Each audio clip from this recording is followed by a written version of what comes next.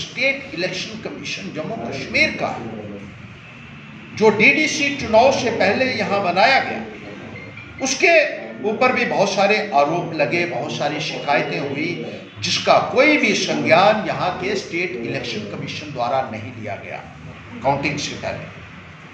बहुत सारे ऐसी शिकायतें थी जिसका कोई भी संज्ञान स्टेट इलेक्शन कमीशन द्वारा नहीं लिया गया, जहाँ तक कि हमारी आरटीआई को भी जवाब देने से स्टेट इलेक्शन कमीशन ने इनकार कर दिया है। मद्रास हाई कोर्ट ने इलेक्शन कमीशन की कार्यप्रणाली के ऊपर सवाल उठाए हैं और बहुत सख्त स्ट्रिक्चर्स जो है वो इलेक्शन कमीशन के खिलाफ जो है वो पास किया इलेक्शन कमीशन ऑफ़ इंडिया को मोस्ट इरिस्पॉन्सिबल इंस्टीट्यूशन करार दिया है।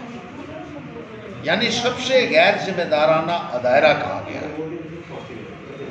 और ये भी कहा है कि इनके अधिकारियों के खिलाफ मर्डर के केसेस जो है वो इंस्टीट्यूट किए जाने चाहिए। लोगों को फ्री एंड फेयर काउंटिंग करवाने के लिए भी कानून का दरवाज़ा खटखटाना पड़ रहा है, जो बहुत सवालिया निशान खड़े करता है इलेक्शन कमीशन की वर्किंग के ऊपर और जिसका संज्ञान भी हाई कोर्ट ने लिया। ये पहली बारी नहीं है कि इलेक्शन कमीशन ऑफ़ इंडिया की विश्वसनीयता सवालों के घेरे में आई हो।